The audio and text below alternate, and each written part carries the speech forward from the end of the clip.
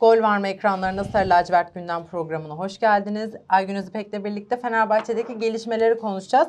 Aslında şu an sıcak bir gelişme var. Emre Mor'un e, Ka- Fatih Karagümrük'e ligin geri kalanında gönderilmesi orada. Kiralanma anlamında evet. diyorsun. Aslında baktığın zaman Emre Mor biraz uzunca bir süre Türkiye geldiğinde özellikle Galatasaray'a geldiği sürece de baktığın zaman çok iyi performans gösterememişti Emre. Daha sonra Volkan Demirel'le beraber hakikaten Evet Karagümrük'te. Karagümrük çok iyi bir çıkış yakaladı ve ondan sonra da Fenerbahçe'ye transfer oldu ama maalesef Fenerbahçe'de istenileni bir türlü elde edemedi.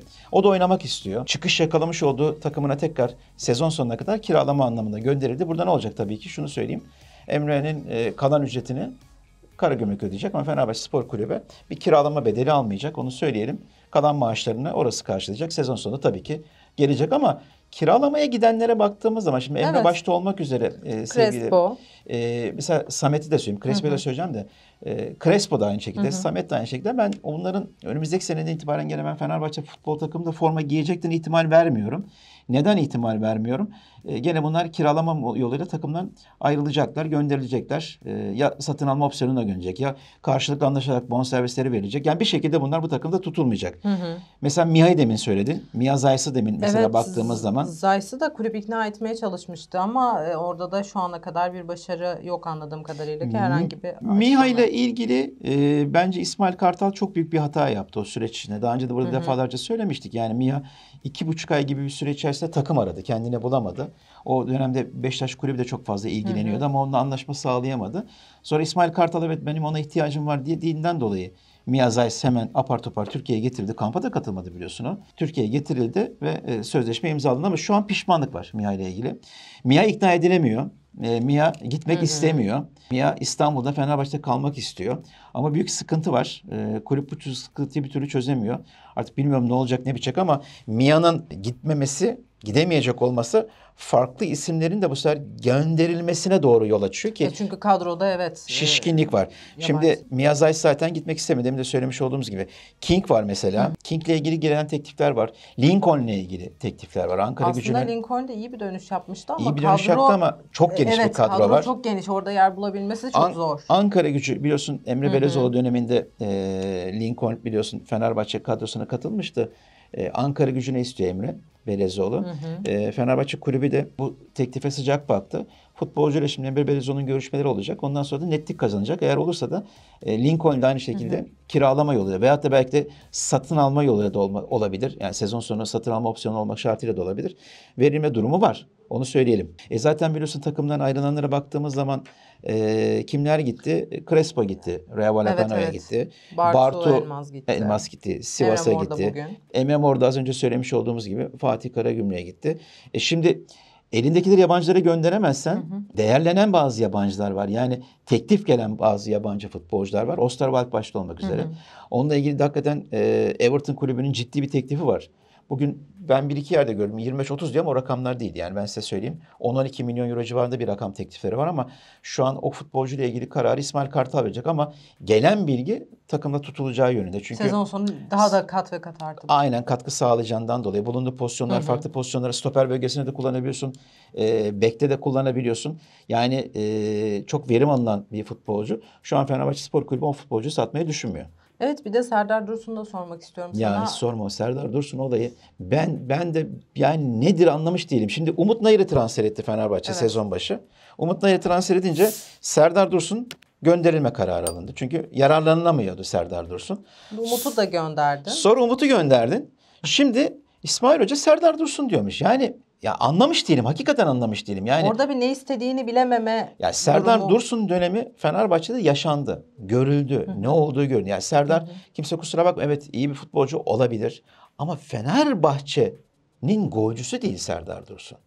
Bunu hep söyledik. Yani Fenerbahçe'ye katkı sağlayan bir futbolcu değil. Ha gidebilirsin Kayseri'de oynayabilir. Ne bileyim Karagümrük'te oynayabilir. Rize'de oynayabilir ama Fenerbahçe gibi, Beşiktaş gibi, Galatasaray gibi büyük kulüplerin forvet bölgesinde oynatacağı bir isim değil. Kaldı ki Fenerbahçe'nin ileri hattı çok zaten dolu yani. İşte Dzeko, yerli anlamda biraz daha tutma anlamında. Umut mesela demiş ki ben ilk o, yani benim hedefim farklı hedeflerim var. O yüzden direkt oynayabileceğim bir takıma gitmek istiyorum demiş. Pendik'te o da iyi gayet. iyi. Oynuyor. Ee, Serdar da benim için sıkıntı yok. Oynasam da oynamasam da olabilir ama benim için problem yok cümlesinden dolayı Fenerbahçe tekrar Serdar Dursun'a döndü ama bence büyük bir hata yapılıyor. Ne sana söyleyeyim? Yani gidenlerin geri geldikten sonra katkı sağlayamadığını görüyoruz işte yani gelen futbol Miha başta olmak üzere. Yani e, e, birçok futbolcu sayabiliriz bu anlamda. Ben Serdar Dursun'dan çok büyük katkı alınacağını tahmin etmiyorum.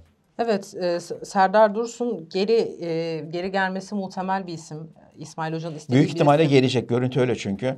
Ee, hocanın da konuştuğunu biliyoruz. Futbolcu sıcak bakmış. Ee, kulübüyle bazı görüşmeler yapılıyor. Ee, ama gelme ihtimali çok yüksek. Ee, ama bir- bence hata. Yani çok daha farklı bir isim alabilirsin oraya. Evet yani aslında yerli diğer bir yerliyi merak ediyorum. Mert Hakan Yandaş e, kadroda tam olarak ne yaptığını e, ne yaptığı bilinemiyor. Hani tamam Yani evet şampiyonluk yolunda istiyor takımda kalmayı Yedek ama. kulübesinde kart görerek cezalı kalan bir futbolcu. Türkiye tarihine geçmiş bir futbolcu Mert Hakan. Mert Hakan çok hırslı bir futbolcu. Saha içerisinde çok agresif bir futbolcu. Takımını sıkıntıya sokan bir futbolcu. Kart görme riski çok fazla olan bir futbolcu.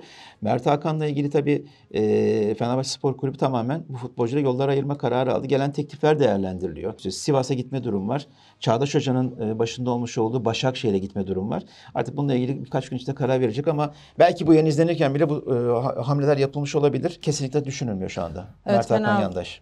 Fenerbahçe'de gelen oyuncular evet hareketli bir transfer dönemiydi. Yani şu an diğer takımlara baktığımızda Galatasaray ve Beşiktaş'ı evet Fenerbahçe Çok hareketli. ve Bonucci'yi getirdi. Çağlar Söyüncü'yü Çağlar'ı aldı. Getirdi. Gayet aslında hareketli geçirdi bu süreci. E şimdi tabii Bitmez. bir de gidecekler.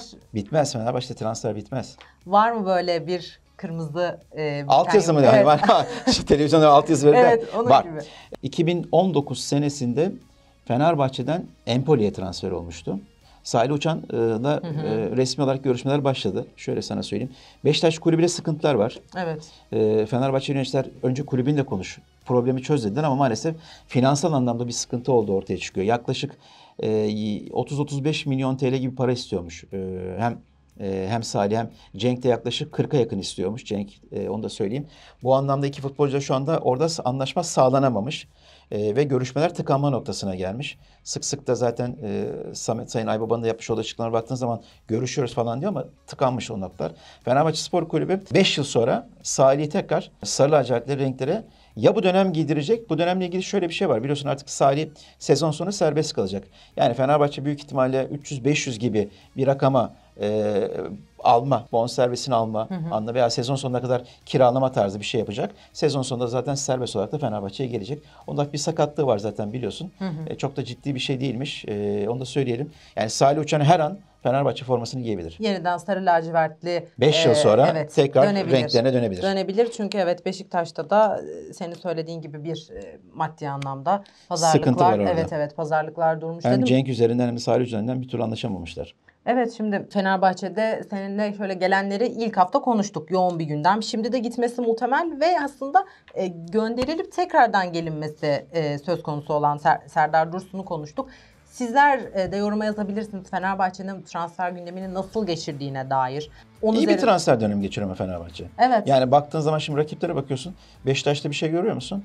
Yok. Galatasaray'da, Galatasaray'da da bir Saşa'nın saçısını görüyorsun. Oradan ciddi para geldi Tabii. ama gelen bir transfer göremiyorsun Evet, ama. Fenerbahçe'de satış olmadan e, çok önemli isimleri kadrosuna kattı ve kadroya da katmaya devam edecek. Fenerbahçe'de de benim merak ettiğim savunma e, kurgusunun yani stoper ikilisinin hangi oyuncular olacak Vallahi ben çünkü sana şu, şu anda şu an teknik anlamda en rahat e, kişi İsmail Kartal'dır. Ne sana söyleyeyim.